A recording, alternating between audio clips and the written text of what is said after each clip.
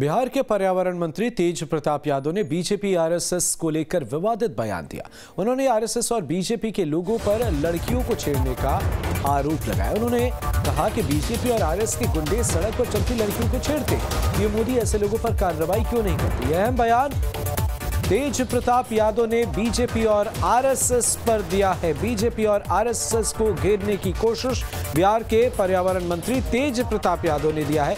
और साथ ही प्रधानमंत्री नरेंद्र मोदी से यह अपील भी की है कि लोगों पर कार्रवाई क्यों नहीं करती?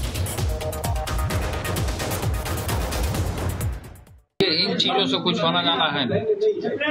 भाजपा पहले अपने गिरवान में और आरएसएस के लोग अपने गिरवान में झाँक करके देखें कि वो क्या करतूत करते हैं।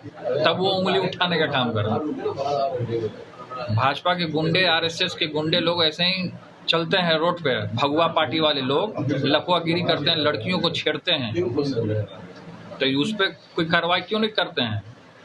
मोदी जी क्यों नहीं कार्रवाई करते? उन लोगों पे कार्रवाई करें जो बजरंग दल के लोग हल्ला मचाते हैं, लफुआगिरी करते हैं और सड़कों पे निकलते हैं। ये सब पे कार्रवाई करना चाहिए उनको?